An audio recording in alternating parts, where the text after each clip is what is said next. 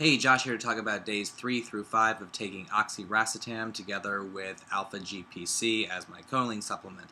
Uh, to talk about the dosages, um, I've been taking two doses per day of 730 milligrams of the oxiracetam together with 125 milligrams of the alpha GPC.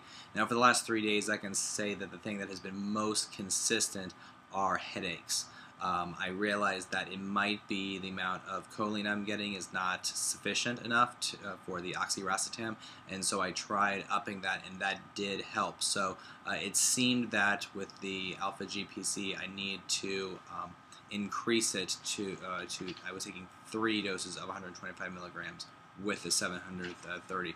So uh, essentially, what I was doing was I was taking um, 375 milligrams of alpha GPC with the 730 milligrams of oxiracetam. That seemed to stop the headaches um, more um, than taking it with a lower amount.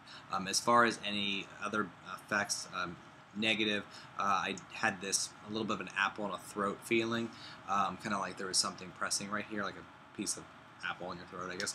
Um, and the only reason that I noticed that was because I was reading up on some other nootropics and it had mentioned that this apple and throat feeling is something that can come. And so I did notice uh, that a little bit more. I don't think it was really a, uh, placebo uh, because I don't think that's a placebo type of uh, experience.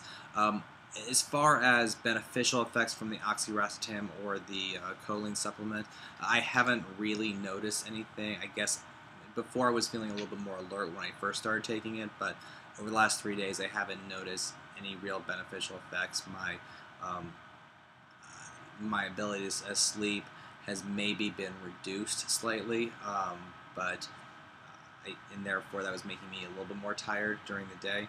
But other than that, it wasn't really any beneficial effects. So we're going to keep on with oxiracetam uh, for the next uh, few days. I'm going to change my choline supplement from alpha GPC to choline CDP, see if I experience any different uh, effects from taking one choline supplement uh, versus the other with the oxiracetam. So I'll get back to you in the next episode and let you know if anything's changing.